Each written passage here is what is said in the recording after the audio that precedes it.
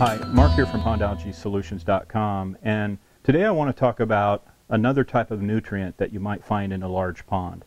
You know, when we use beneficial bacteria along with robust aeration, our main intent is to target the nutrients that feed and spike algae blooms.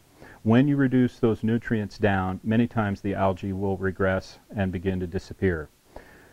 The problem is, is that there are a number of different types of nutrients that you'll find in ponds, and they come in many forms. One of those forms is called phosphates.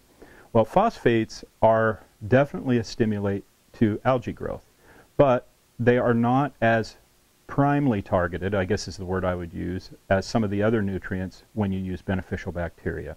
Ba bacteria has a secondary effect on phosphates, and it may affect it somewhat, but not always, and certainly not enough sometimes. It doesn't take a lot of phosphate in the water to really stimulate growth. So if you've been using beneficial bacteria, as we often suggest, along with good aeration, and you're still having some problems with algae growth, it's a good idea to test your water for phosphate levels and see where that's at. If you're getting uh, a reading that seems high based on the test that you're using, then it's a good idea to look for a phosphate reducer that can be added to your regimen along with the bacteria.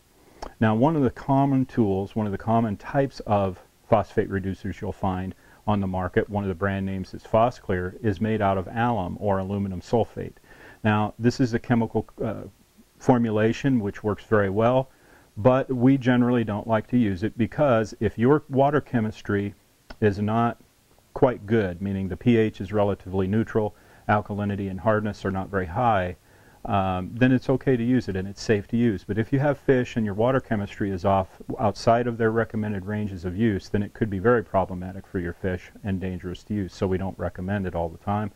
And generally, when we are looking at reducing phosphates, we use a natural formulation that works a little bit slower than something like alum, but it does a very good job if you give it a little bit of time to work. And so I wanted to let you know that there are options there. You can find the phosphate reducer on our website at pondalgaesolutions.com.